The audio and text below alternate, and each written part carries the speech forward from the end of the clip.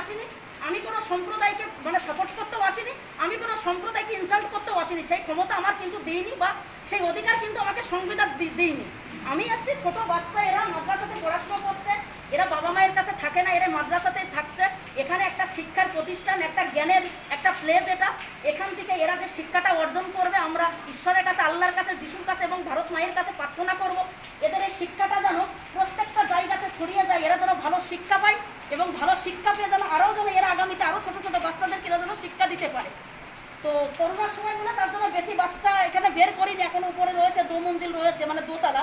ওখানে এখনও অনেক বাচ্চা রয়েছে, তাদেরকে আনা হয়নি। আমি হালকা পাল্টা কিছু নিয়ে এসেছি। কারণ আমার প্রতি তো অনেকে এলিগেশন মাঝে মধ্যেই লাগাই যে আমি নাকি সব কিছু বাড়াবাড়ি করি।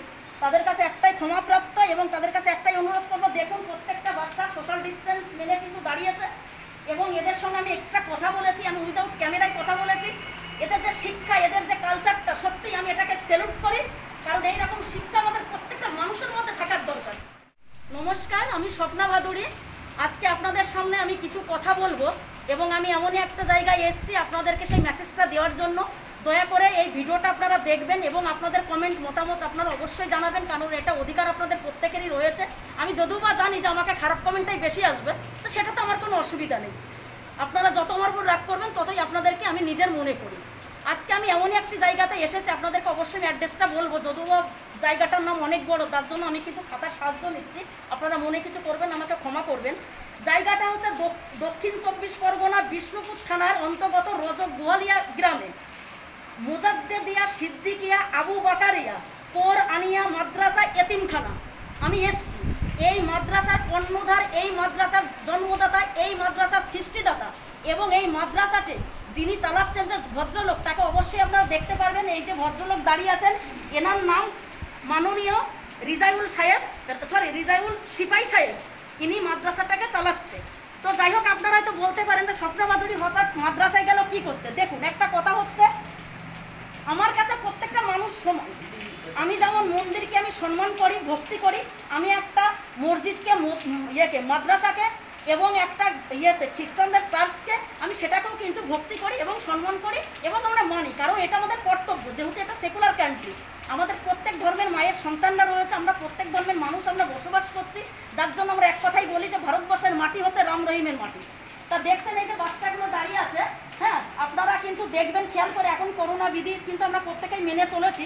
হ্যাঁ যদিও আপনারা খেয়াল করুন, ভালো করে এটা আপনাদের কাছে অনুরোধ করব যে প্রত্যেকটা বাচ্চা এইখানে আগে দাঁড়িয়ে আছে এই যে দুজন ভদ্রলোক দাঁড়িয়ে আছে এনারা এই মাদ্রাসার ইয়ে হুজুর সাহেব মৌলভী সাহেব যাকে আমরা বলি এই যে আছেন মৌলভী সাহেব এইখানে আছেন মৌলভী সাহেব এবং এইখানেও নামটা বলুন।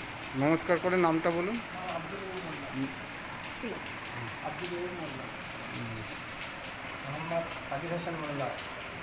আচ্ছা ওখানেও দাঁড়িয়ে আছেন আর একজন মৌলভী সাহেব এখানেও দাঁড়িয়ে আছেন।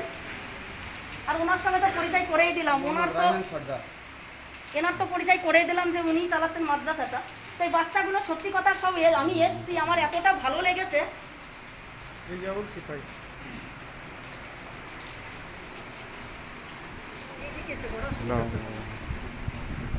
তো এইখানে বাচ্চাগুলো সব দাঁড়িয়ে আছে আমি দেখলাম এদের সঙ্গে আমি দেখা করলাম আমার খুব ভালো লাগল কারণ আমরা অনেকেই হয়তো অনেক কিছু আমরা ডেলিগেশন লাগাই মানুষকে বিচার না করে মানুষকে না দেখে মানুষকে না কিছু ভেবে।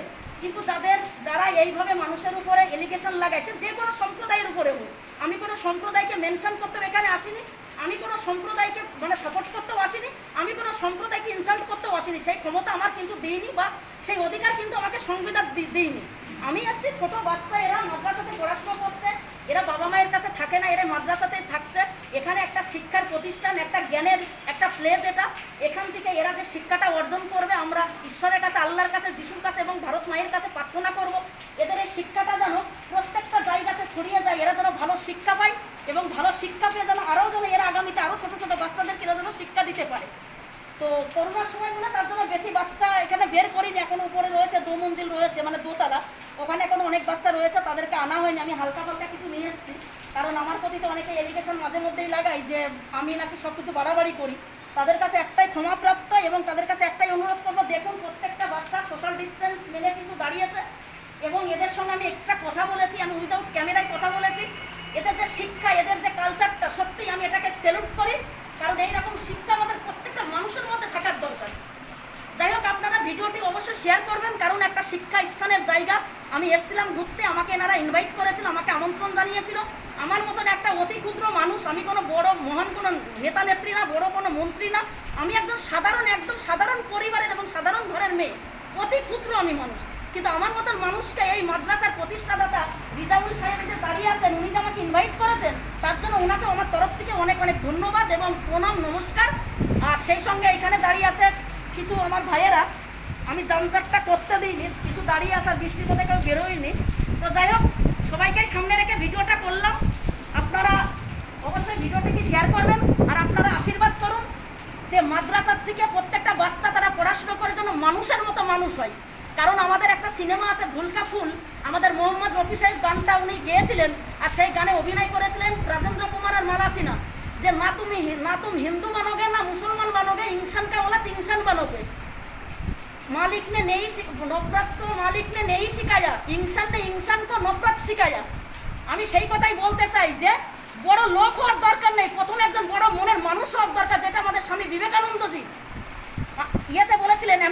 শিকাগো শহরে বলেছিলেন, সেই কথাটাকে আমরা সেলুট করি।